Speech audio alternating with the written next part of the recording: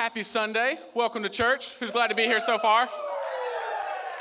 Um, buckle up, is all I got to say. It's going to be a fun ride today. You can have a seat and uh, just high five, fist bump, whatever makes you comfortable, your neighbor ne- next to you. Um, today, I'm gonna, who's ever been like, you've been in a like in a situation in life and you feel like God's speaking through you, like God's using you, and then life continues and life happens, and then you figure out that God wasn't so, so much as, yes, maybe He was speaking through you, but He was also preparing you for something, and you didn't really know the fight that was coming, obviously, because you're not God. You don't, and then the fight comes, and you're like, oh, praise God that you're good and gracious and awesome, and I've you've been preparing me for this, and I'm ready for the fight that's here now.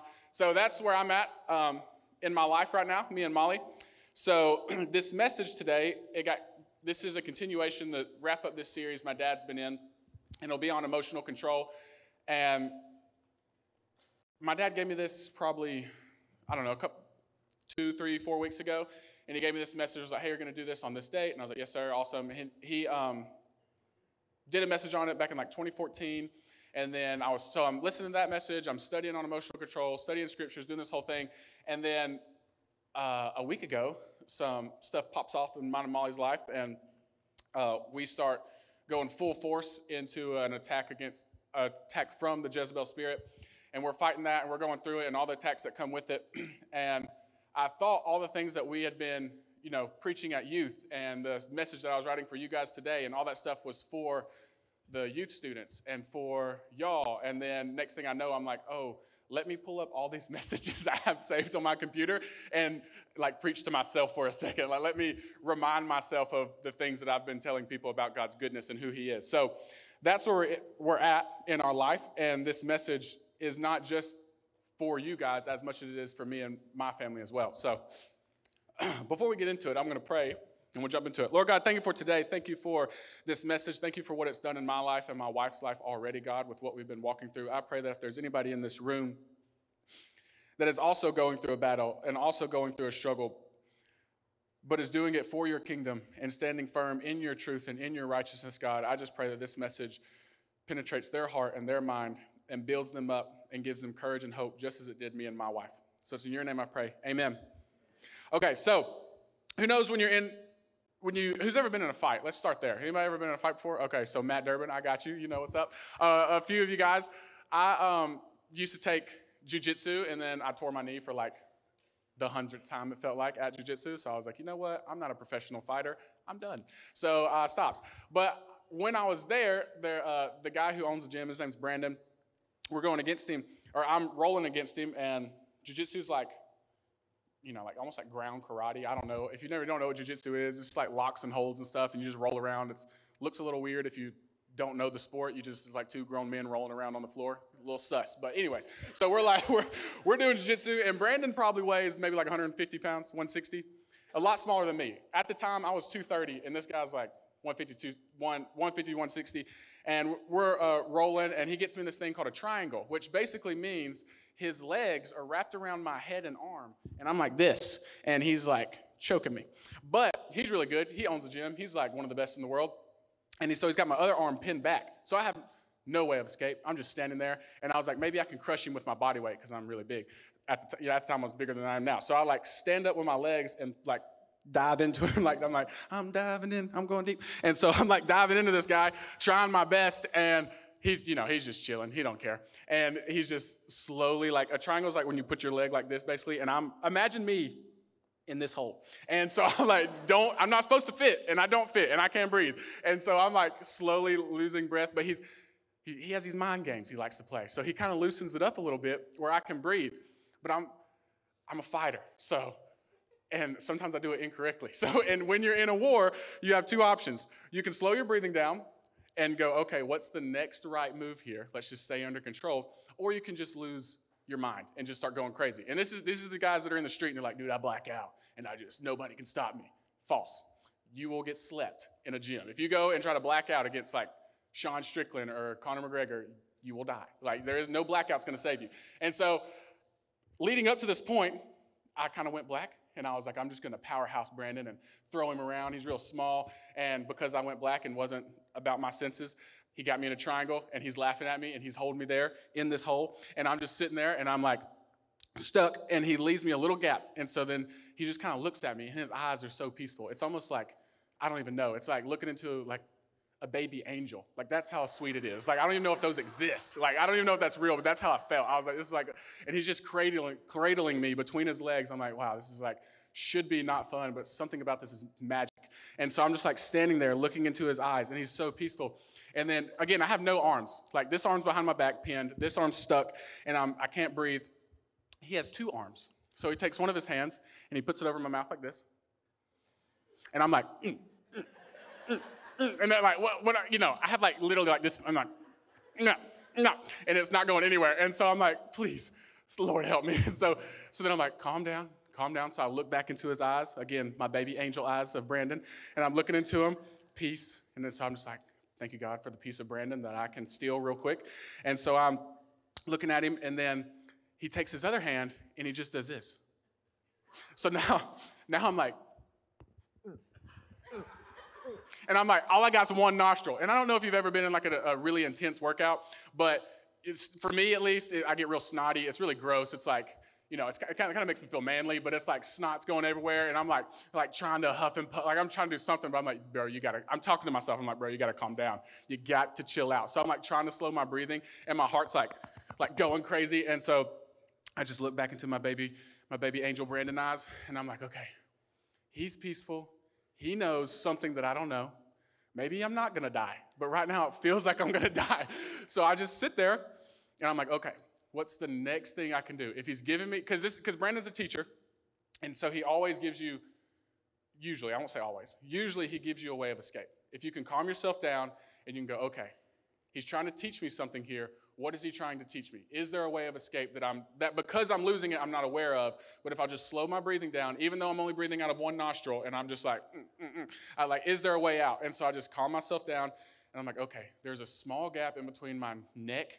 Again, I'm like in this hole, and there's a small gap in here. So I'm like, if I can fit my hand in here and posture up how I'm supposed to do, I'll create some space, and he'll lose the, you know, lose. He's giving me a way of escape, but like lose the hold.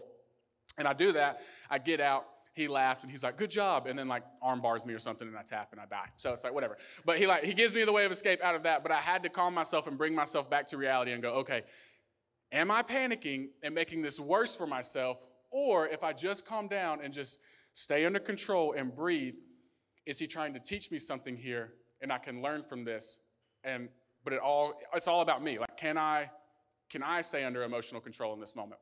So this is where me and Molly have found ourselves in this week um, we had some things happen and we ha- were presented with the opportunity to lose emotional control and panic and get choked out and lose the battle, or we can stay under emotional control and go, okay, what's the next right thing to do? Because I'm not, sometimes if the, if the battle's heavy enough, I'm not even worried about, like when I'm rolling with Brandon, I'm not necessarily worried about, hey, I got to take your back. No, I just don't want you to break my neck. Like, I'll get what's Forget about the back. Forget about tapping you. I just don't want to die right now. So sometimes you're in the battle. It's just about, can I just get past this moment?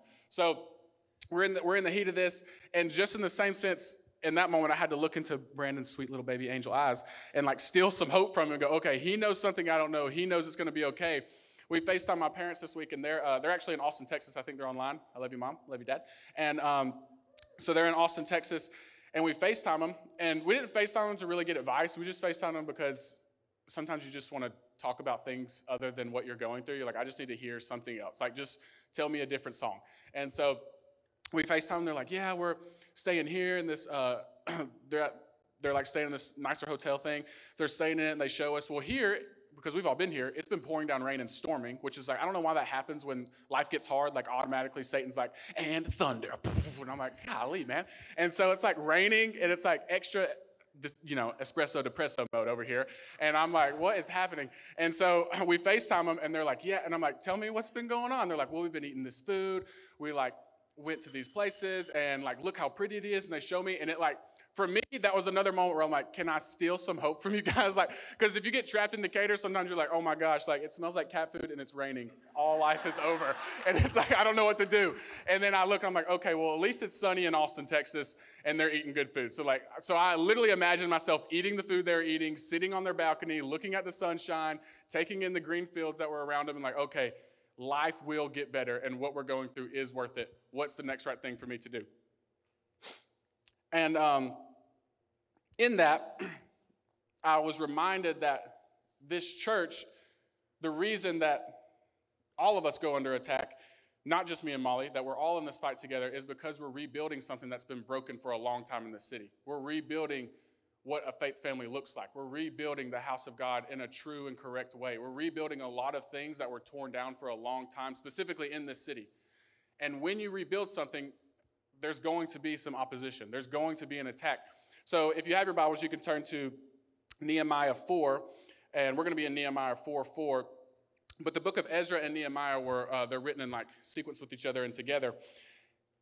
And there's one main problem we see in these books, and it's that God's people struggle to maintain their identity as God's people as they faced internal and external pressure.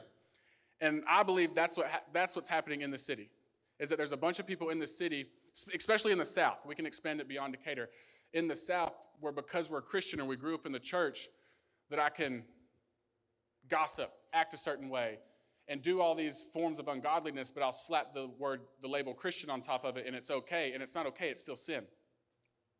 And there's God's people in the city who I believe are legitimately saved and legitimately love the Lord, but you're struggling with your identity of God's people. That when people look at you and you go about life, that is there really a difference between you and a lost person? Or are you struggling with your identity of God's people and God's children? And that's what's happening in, uh, in Ezra and Nehemiah. So I'm going to read through this, and as I read through it, I'm going to take out some points that help me along the way and then wrap it up. So, Nehemiah 4 4. Again, I don't speak uh, Hebrew, so I don't know how to pronounce these names all the way. But when Sanballat heard that they were rebuilding the wall, he became furious. He mocked the Jews before his colleagues and the powerful men of Samaria and said, What are these pathetic Jews doing? Can they restore it by themselves? Will they offer sacrifices? Will they ever finish it? Can they bring these burnt stones back to life from the mounds of rubble? Then Tobiah the Ammonite was beside him and, said, Indeed, even if a fox climbed up what they are building, it would break down their stone wall. And then Nehemiah injects here and says, Listen, our God, for we are despised. Make their insults return on their own heads, and let them be taken as plunder to a land of captivity. Do not cover their guilt or let their sin be erased from your sight, because they have angered the, angered the builders. So the first thing we see and in this, I'm going to talk about how Nehemiah's men remained faithful and stayed under emotional control and continued to build the wall. Because a lot of times, if you're me, I read scripture and I immediately become like the Superman. I'm like, oh, I'm Nehemiah.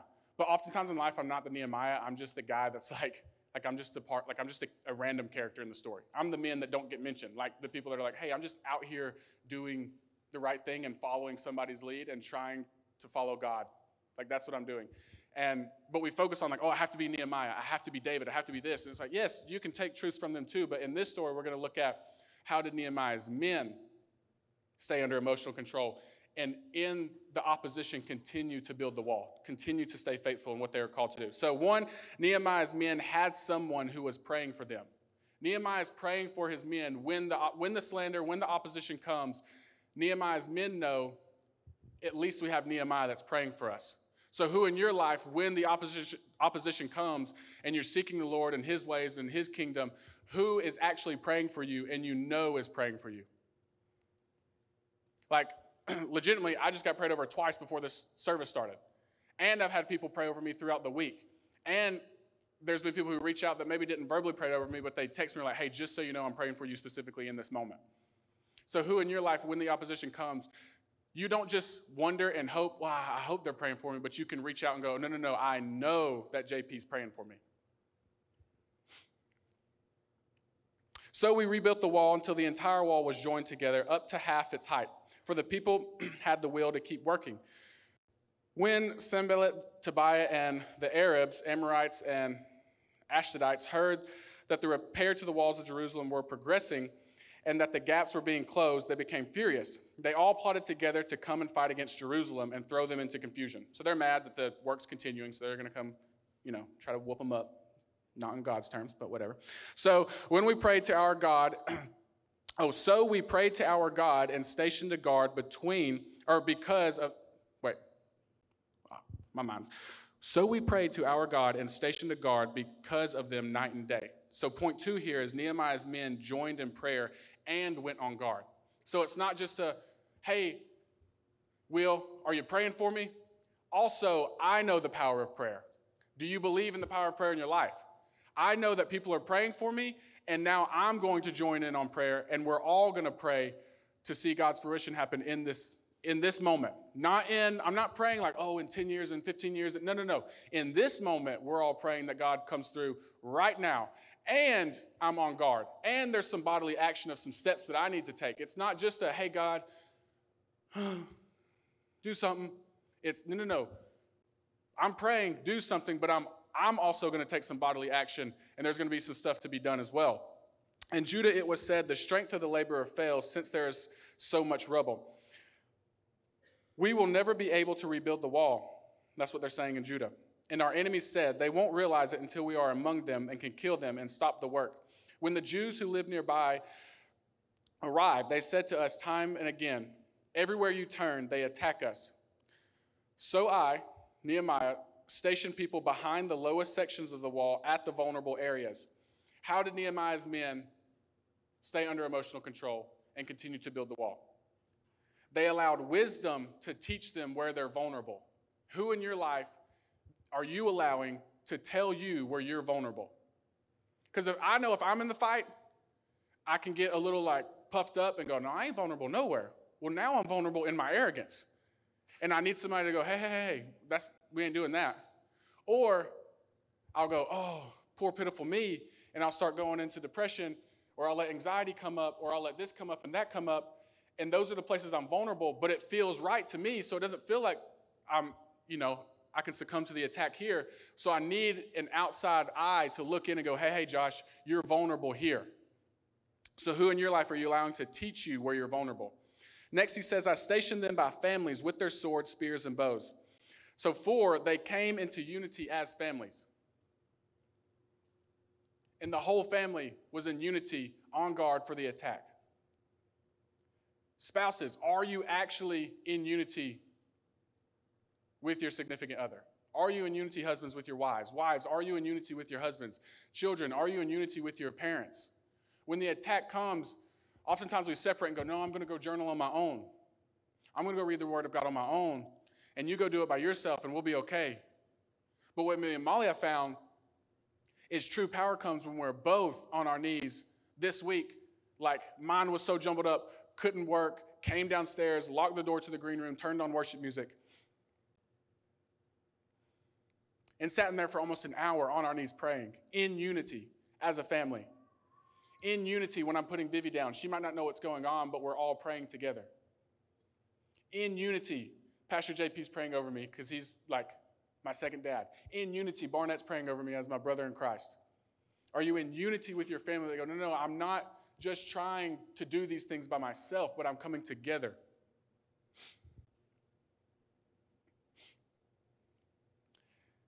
And then it goes on in 14 to say, after I made an inspection. So, five, Nehemiah inspected what was expected of his men. Who are you allowing to inspect your life? Who are you allowing when the fight comes to go, okay, you're supposed to be doing all these things, but are you actually doing them? Because me and Molly, we, we're not arrogant. We don't go, no, no, no, like nobody needs to know. No, I need you to know that I'm doing these. And I want you to ask. And I want you to make sure that what I'm saying and the actions that I'm taking are right and are biblical. Because I want you to inspect what God expects of me. And I need somebody of authority to go, hey, hey, you're under attack. And sometimes when you're under attack, what seems right is not always right. And so I'm just going to watch and make sure that what you're doing is okay, and I'm going to be a voice of wisdom in your life. So, who is a voice of wisdom in your life? I stood up and said to the nobles, the officials, and the rest of the people, Do not be afraid of them. Remember the great and awe inspiring Lord, and fight for your countrymen, your sons, your daughters, your wives, and your homes. Six, Nehemiah's men allowed their perspective to be flipped. Are you addicted to the story you've been telling yourself? Are you addicted to the pain that you've been in?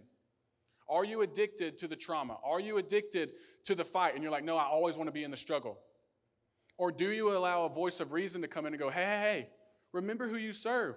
The battle's already won, the victory's already been had. Pull up Hebrews, read about the Hall of Faith.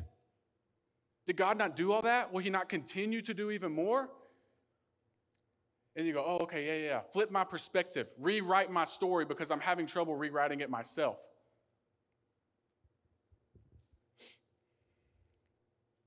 When our enemies heard, this is 15, when our enemies heard that we knew their scheme and that God had frustrated it, every one of us returned to his own work on the wall. From that day on, half of my men did the work while the other half held spears, shields, bows, and armor. The officers supported all the people of Judah who were rebuilding the wall. The laborers who carried the loads worked with one hand and held worked with one hand and held a weapon in the other. Each of the builders had his own sword strapped around his waist whilst he was building. And the one who sounded the ram's horn was beside me. Then I said to the nobles, the officials, and the rest of the people, The work is enormous and spread out, and we are separated. And he goes on, and you can read the rest. so, the last two ways that Nehemiah's men remained under emotional control and were able to stay in the fight and continue their work at the same time, seven is they remain, pre- they remain prepared for work and for battle. I don't get to just go, well, Life got hard this week, so now I get to stop being a dad. Now I get to stop being a husband. Life got hard this week, so now the fruit of the Spirit, I've been patient long enough. I've been loving long enough. I've been kind long enough. I've acted in righteousness long enough. I get a, I get a moment to lose my cool. I don't, I don't get that. I'm going to do the work God has called me to do, and I'm going to be ready for battle and prepared, knowing that the battle's going to come. And since I know the battle's going to come, I'm ready. I know who God is. I know who my God is. I know who I serve. I can stay in the fight, but just because I'm in the fight doesn't give me a reason to stop the work. I'm still doing and being who God's called me to be, which is His Son. And eight, this is a constant throughout this chapter. It's not explicitly said, but they were submitted to God's word and to someone in authority. This is the theme throughout the whole thing that I'm trying to get you guys to see. Who in times of battle, in times of distress, in times when opposition comes, who are you submitting yourself to in your life to that you can go, yes, I'm submitted to the word of God, but also sometimes I can read scripture through the lens of hurt and I can see and read what I want to see and read. So I need someone to tell me, no, no, no, this is, this is what this means, this is what this says, and I, I, I need somebody to check me sometimes and I need someone to guide me. So, who is checking you and guiding you in times of opposition when the pressures hit? That they go, hey, hey, just follow me as I follow Christ because, like, hey, Barnett, I need to follow you as you follow Christ because right now I don't know my next move. Hey, Brandon, I'm about to get choked out. I'm just going to look at you and still a little hope and know that you're teaching me something in this moment and there is a way of escape.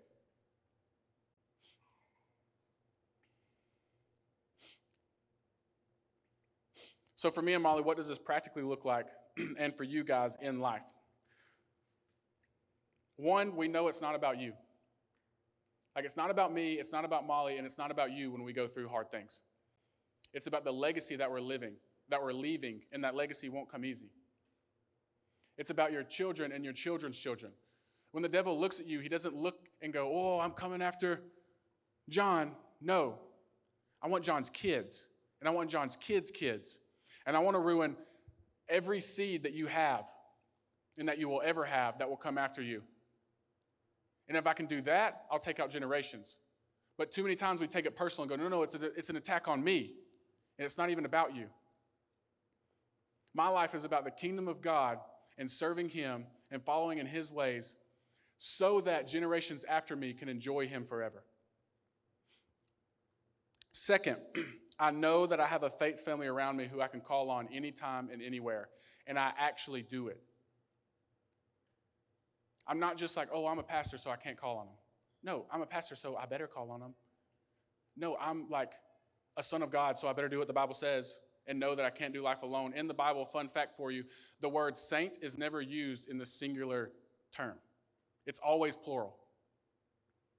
Saints with an S. I think there's twice that it's used without an S. But it's still used in the context of the plural, meaning we as Christ followers were never designed to do life alone, and God never references us as, as a single person. Elijah, when he is running in fear from Jezebel, and he's like, I'm all alone, there's nobody here. And God's like, okay, take a nap, eat a cake, wake up. Also, there's 5,000 other people. He's like, oh, yeah, yeah, you're right. I'm not all by myself.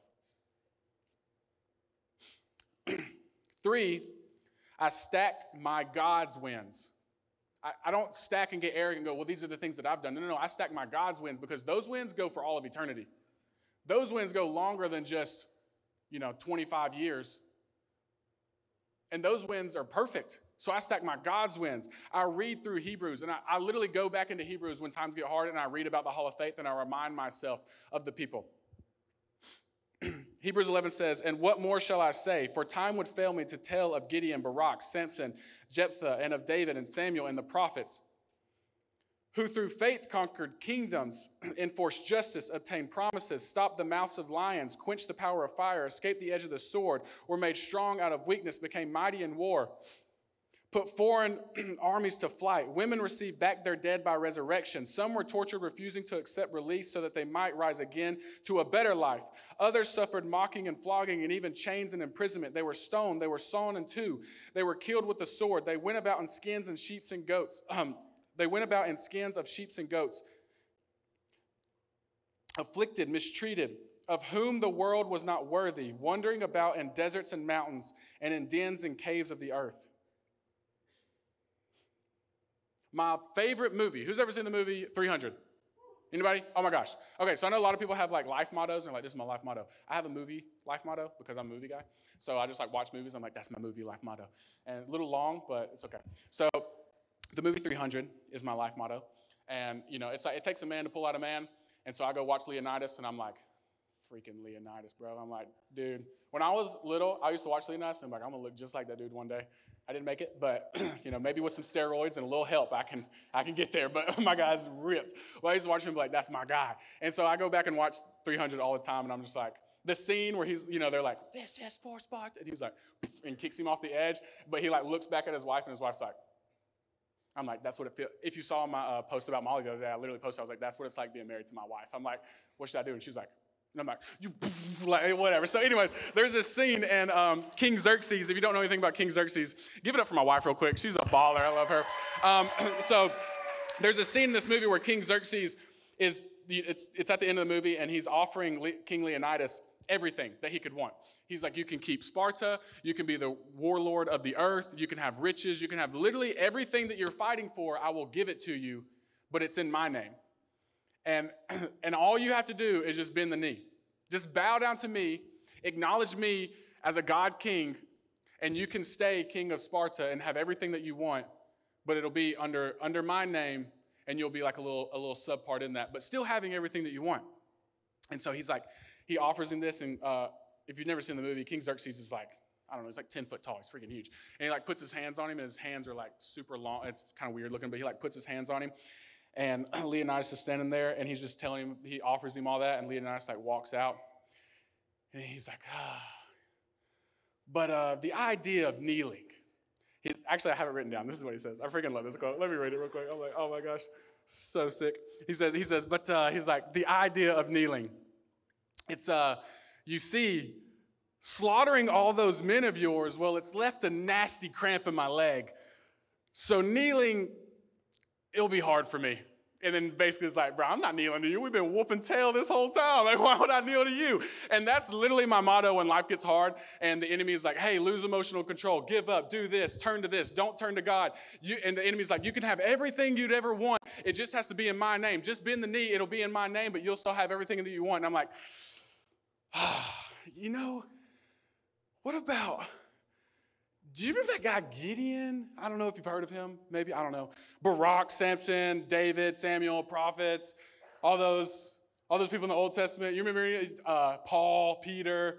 You remember, and you know, I, in my mind, the devil's like, "Oh God, here he goes again." And I'm like, I just don't know. Like, it just seems like my God's been kicking tail this whole time, buddy. Like, I don't know. Like, can you, can you show me one guy? Can you show me one guy? That's one. Can you show me what? Jesus? You ever heard of this guy? I don't know. I don't know. Let me tell you a story real quick. So he like came, lived a perfect life, and we were all messed up. We were all sinners. We didn't have anything going for us for real, and we were not in relationship with God at all, and we were cut off. And then he died, lived a perfect life, was a sacrifice for us. And then he actually went to your home, you know, like sin, grave, hell, the whole thing, death. I don't know if you heard of it. He goes there, he like takes the keys from you, like drop kicks you, whatever, goes back and is seated at the right hand of the Father because the work is done. I don't know if you ever remember in the Old Testament that the that the uh, the priests never actually got to sit down in the Old Testament because the work wasn't finished. So they had to they had to receive sacrifices day and night, and they never got to stop. But because Jesus said that the work is finished, he actually gets to be seated at the right hand of the Father because the work's done. So I don't know if you know it or not, but the idea of kneeling is kind of hard for me because the battle's already won, and we've been kicking tail this whole time. So just go back, Xerxes. Love ya. and peace out. And that's my idea every time life gets hard. And I'm not saying I'm perfect. I need my wife. My wife, literally yesterday, I was going through it because I've had a ton of knee surgeries, and I, Pastor Amy was cooking us dinner and loving on us this week. And I was like, we were over there, and I literally just stood up, and my knee buckled, and I haven't been able to walk for two days uh, until this morning. And I was going to use a chair today, and because I couldn't, st- like, I literally would have to stand like this because my knee, like, I don't know what happened. It just buckled and it wasn't working. And I was going to use a chair. And then I woke up this morning and I, before I got out of bed, I was like, I'm not using a chair. Like, I've given it enough to this. Again, like, I'm not bending the knee. Like, I'm standing on my business, on God's business. And so I got out of bed and I was like, oh my God, I can walk. I'm like, look at this. Like walking around, I'm like, oh, well, hello. And Molly's like, are you okay? And I'm like, I am good. And so like, we're like doing my thing. but my wife has to, I'm not perfect at this. So yesterday, my knees like messed up. It's hurting. I've been doing like everything I'm supposed to be doing for it. And for no apparent reason, it just gave out and like buckled and then just wouldn't allow me to walk on it. And so yesterday, uh, she knows I love donuts. So she takes me to Parlor Donuts in Huntsville. And we're on the way there and we're driving. She's like, okay, look at me. I look at her, and these aren't hard smacks, so don't think, my wife's not abusive. But she's like, snap out of it. And I'm like, what the, what? And she's like, snap out of it. I'm like, snap out of what? She's like, I need my husband. And I'm like, I'm here. She's like, nope, snap out of it. And I was like, babe, she's like, last one. Snap out of it. And I'm like, okay, we're good. And we like eat, you know, she buys me like a dozen donuts. And it was me and Will and Ella and the Van Fossens were all over there just cutting up. And I eat probably my weight in donuts and ordered like two different specialty coffees because you know I'm a girl, whatever. I like like my specialty drinks, so I like get all these coffees, and not really a girl. I'm not that, but I'm uh, so. Oh.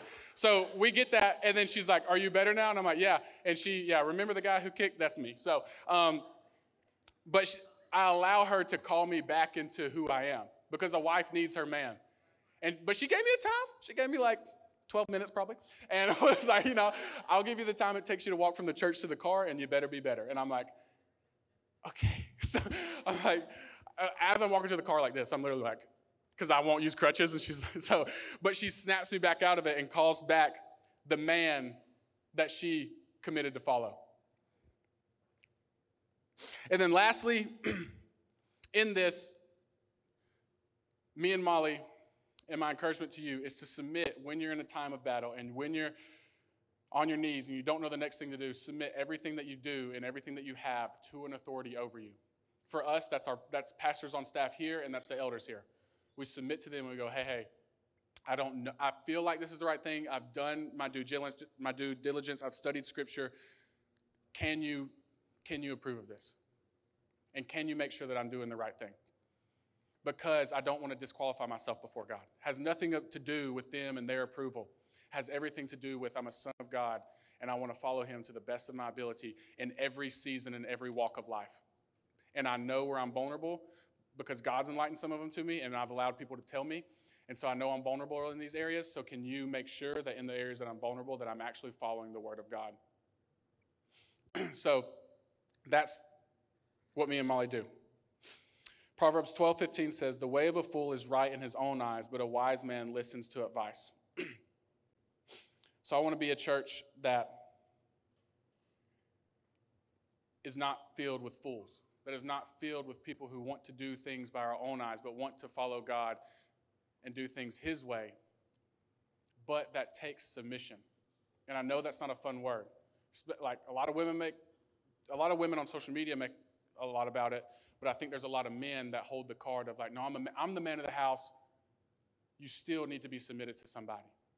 I'm, yes, I'm submitted to God's word, but there's also people in my life that I'm submitted to that have the yes and no vote in my life that can tell me that's, that's good, that's not good. And no when I just need to, hey, you need to make this call on your own. but no when sometimes I need somebody to make the call for me because I don't know the next right thing to do. So I asked um, Barnett, did Molly tell you? Okay, cool. Um, actually, my wife did because I, you know, was leaning on her for that. But Barnett's going to have the band come up and we're going to do another song. And uh, this song came on in preheat. and it's just, honestly, it's just really uplifting. And it's very reminding of who the God is that we serve of what he's done, what he'll continue to do in our life if we'll let him and if we'll follow him in ways that don't seem right, don't seem easy, and to the world don't make any sense. if you want to be a people who don't bend the knee, the battle's going to come. And if you know anything about 300, uh, they didn't make it. like, it wasn't good. And in Hebrews, it talks about that those people didn't see the things that they were waiting for on this earth, that they went to somewhere better that they were praying for things that Abraham was promised to have all these things, but he didn't see all of it on this earth. He went to heaven for something better, and then now, from heaven's perspective, he gets to see it all. So, you guys can stand to your feet, and they're going to sing this song. and honestly, this song is just as much for me as it is for some of you in here to remind us that we do serve a God that in your deepest, darkest battles, in the hardest parts of your life, in the times when you're faced with just bend the knee, just give up, just go back to the alcohol, just go back to the pills, just go back to the gossip, just go back to the slandering, just go back to the manipulation, just go back to the pornography, just go back to this, just go back to that. And you can fill in the blank of whatever your vice is that you allow the enemy to tempt you with that you fall into sin. You can fill in the blank for that. But at some point, you have to go, okay, all of that sounds really good and really enticing. But the truth is, you've never won a battle, devil. You've never once held a victory.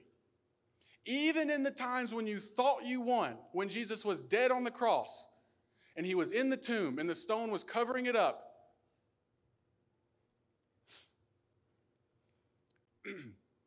Even in the times when all the sky went black and you thought you won and you thought you held the victory, even then you lost. Honestly, you're just a loser. You just suck, devil. You you ain't got nothing. You have nothing for me. And there's no part of my life that I want to give to you, that I want to submit to you for anything on this earth that I will do things even a glimpse of your way because I know who my God is. And I know that He's going to show up time and time and time and time and time and time and time again, just like He does for every generation. And I'm no different. So, for you, as we sing this song, allow God to remind you of how good He is, how awesome He is, and how powerful He is, even in your darkest times. Lord God, thank you for today. Thank you for showing up. Thank you for speaking to me and my wife and my church family in times when things get hard. Thank you for being a God who loves us, who hears our cries, and meets us there. But more than that, thank you for being a God who is faithful, that has a track record of being a God who we can trust, a Father in heaven who is good, that we can run to and say, even when I don't see it, I know that it will be so. I know that the good is coming. Amen.